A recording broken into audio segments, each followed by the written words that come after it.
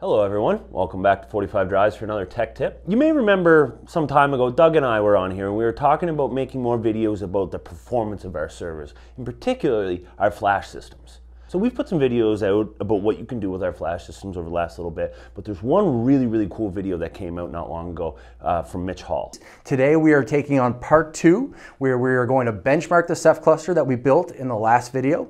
Then we're going to tune it with a bunch of set tunings that we have available. And then we're going to re-benchmark it and see just how much performance gain we've had. Spoiler alert, there's going to be quite a bit.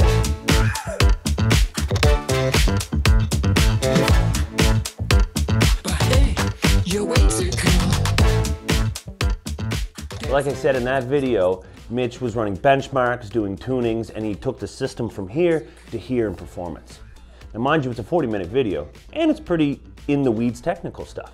But there's a lot of value in there that everyone should be able to hear exactly uh, what he did. So what we're talking about today is kind of an overview of the tuning steps he did, and we're hitting the high numbers. And if you like what we uh, lay out here today, I really do recommend you take the time to watch it. Mitch did a great job. So anyway, let's get into uh, the summary. Shoot him!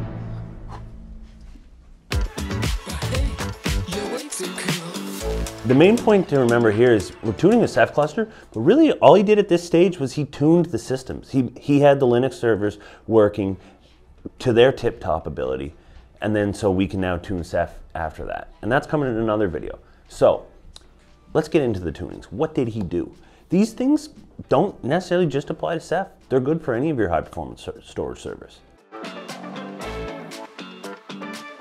All right, so Mitch started in the network layer first. So he, what he did is he applied a low latency profile to the Mellanox uh, network cards we have in there. I think he was using 100 gig in the video. Yes, he definitely was using 100 gig. So he tuned that first using tools brought to you by Mel Mellanox.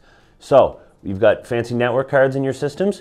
Go find scripts and tools that they that the manufacturers have. They often have something to help you there. Two, he then increased the network buffer size. So that way he can put more data payload through the thing and we can get higher throughput that way. So the next one he did here is he used tuned ADM, which is a um, tool within Linux to apply various performance profiles. Right? So he used a low latency network profile as well there, so he applied that. And that sends a bunch of Linux syscontrol uh, values if you've ever looked into it, there's a lot, and you're not really sure what they do. And that's what Tuned ADM is for. It just handles it, and applies a profile, and you don't have to worry about it. Really cool tool. The next thing he did was he disabled the um, CPU idle times. Now this is a good power saving feature that if a core isn't doing anything, it can kind of go to sleep and be idle. And that can effectively reduce the power consumption of the server a little bit. However, it takes time to wake it back up. And in the case of a high performance system like this, you want your cores ready to deliver at all times. Your money is better spent to get the performance rather than save the minuscule amount of power. So Mitch turns that off and the CPUs are ready and waiting to serve data and move it through the system.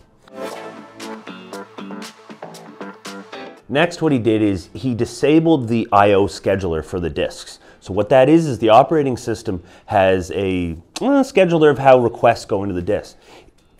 It's really there for hard drives and to handle the way they spin. When you're with NVMe, it's a whole different game. So you pretty much just can turn it off completely and just let Ceph bomb stuff in and out of the drives as fast as possible. So if you're using NVMe drives, you probably want to turn your I.O. scheduler off.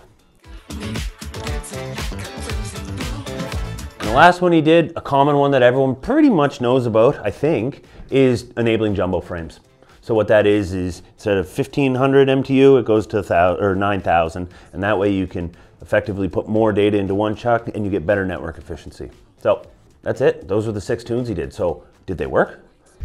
That was the plan. It did work. It worked really well. We saw massive increases here. So um, for the sequential reads, the amount of data we can rip out of the server, this is very useful for video streaming, big data analytics, machine learning, stuff like that. We saw 113% increase, increasing from 4.5 gigabytes a second to 10 gigabytes a second. Really, really good.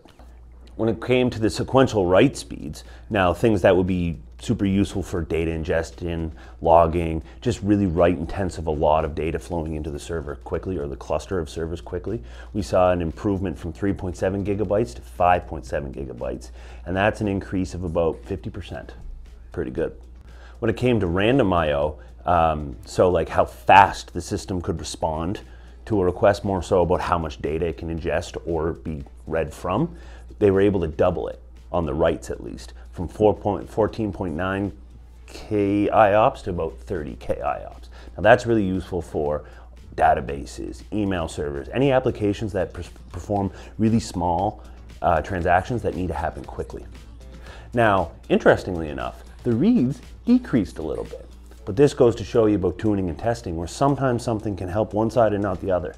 But Mitch left that as a little bit of um, how you say, cliffhanger. So uh, he's going to look further at that in the next video when he does a little more tuning on just the Ceph side. That's the summary. I hope, uh, I hope you enjoyed that. If you did enjoy that and you want to learn more, I really recommend you go watch Mitch's video. And if you want to tune your systems, hear from us, uh, or if you want to buy a couple F-16s and build a cluster to power your organization, reach out to us. Let us know. We'd love to help. So thanks for watching.